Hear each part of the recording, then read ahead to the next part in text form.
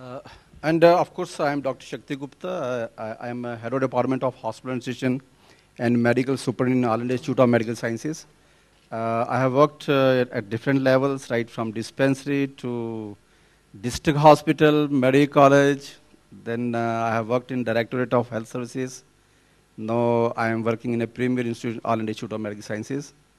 And so I like to first take up some important issues pertaining to medical technology and innovations. Then I'll hand over the uh, mic to all the experts for their comments. And uh, after that, we'll invite questions. Is it okay?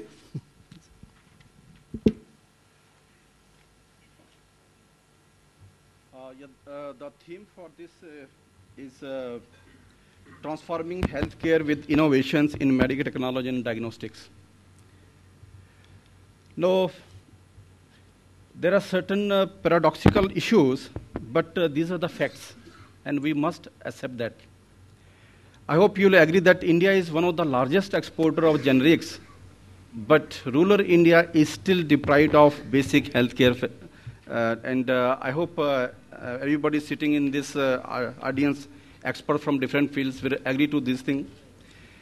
And you'll also agree that patients from US and UK come to India for treatment but approximately 70% of the Indian patients have never seen a doctor. When I talk, that doctor means a qualified doctor. Now, let's have an uh, introspection.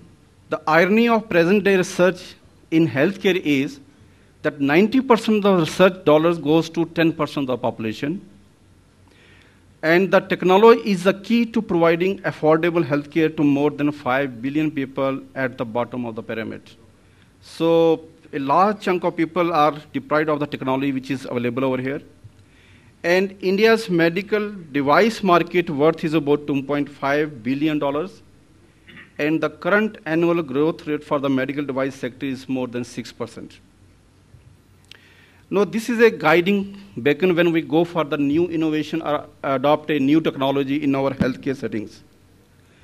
The basic principle is we must balance the wish list of the healthcare industry, the need list of the professionals, and the want list of the patients, the community, and the population and the society. Now, there are some inflection point in the healthcare. The release of two Institute of Medicine reports, the first in November 1999, To Err is Human, Building a Safer Healthcare System, and the second report, March 2001, that is a crossing the quality chasm, has metamorphosed the healthcare delivery. No stress is on improving the patient safety and reduce medical errors with a combination of policy, procedures, and the technology. Now there is a strong, uh, st there is a need for creating a stronger healthcare system. Improving technology and innovations would not eliminate all medical errors, but researchers believe it will reduce the errors dramatically. Now is the time to share progress, challenges, and best practices to enable interoperability and link the ecosystem in the delivery of better quality care. No, there are certain issues which are, no, we keep on talking about what are going to be the hospitals for tomorrow, but I think they are the hospitals of today. Now we have IT-enabled hospitals, the flexible hospital, paperless, filmless, the, we talk of patient-friendly hospitals. Now the more th thrust is on daycare facilities. No rehabilitation center and boundaryless, uh, no, we don't have boundaries uh, uh, between the hospitals and between the specialties. In addition to that, we have a, uh, now, we are thinking about the hospitals which are eco-friendly, which are reconstructive, transplant centers, the organ centers, no, more stress is from the general hospital or specialty hospitals to the organ centers. The wellness centers, the robotics are being used in a big way, and now we are talking about the mobile hospitals. Now, the biggest issue before us is the innovation. Now, question comes, how to manage the innovation. There are certain options before us. The first could be the flexibility and multiple approaches are required maybe economic incentives for some people and the professional satisfaction for others.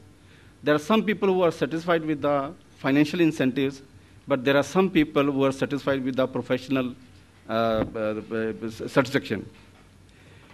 Now, during design phase, there should be divergent thinking. I think no innovation, innovation or no advancement can be possible unless we start thinking divergently. If we start thinking in the same, then there is not going to, there is not going to be any progress. There is a need for creativity, brainstorming, administrative flexibility, and the effective communication. I think these are the bunch, uh, these are important issues, uh, area, uh, things which are imp important for any innovation. Now, another issue which is that during implementation phase, there should be effective planning. You need to coordinate different activities, have a control, evaluation, participative decision making, and appropriate incentives. Now, another issue is the managing the technology. The technology is changing so fast, a computer which you get today, actually after six months, it becomes obsolete. Or any CT and MRI, by the time your tender is finalized, you get the new features. So the issue option is that we need to have a optimization of healthcare to which equipment, appliances, and technology they makes a significant contribution, but they must be subjected to a critical qualitative appraisal using scientific methods. Now, challenge is to ensure that uh, whatever need is there, that need-driven must be market-driven. So, need-driven has it is, it is it is not to be a market-driven. You need to uh, manage the growth with distribution. You have to balance the equity with the efficacy we keep on talking about the affordability, accessibility, that cost effectiveness, and that as part of the Indian healthcare sector, which is entering the worldwide elite, the masses are not left behind.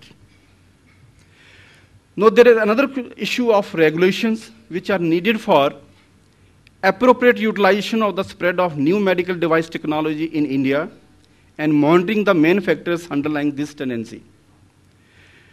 Then we have to have assessing effectivity in terms of its impact on the cost of providing healthcare and on inequalities in access to the healthcare because there are two, three issues which are very important.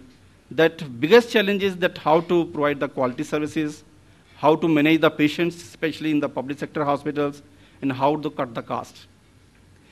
The planning the appropriate strategy, including the public-private partnerships, towards the medical innovations and available basket for medical technology. Now, the medical technology forces microelectronics, intelligent telemetry, high resolution diagnostic imaging, bionics, and telemedicine. The information technology forces internet use of internet, mobile computing, IT outsourcing, speech recognition, data analysis tools, healthcare data standards, and the access to the medical technology is that it should be cost effectiveness of medical technologies which are well documented. And the difficulty is in bringing the fruits of innovation to the patient and the economy. Though the stakeholder alignment is critical to the broadening access, we need to take into consideration the physician's requirement, the hospitals, patients. On one side, we have regulators, the public payers, the private payers, the industry, and the government.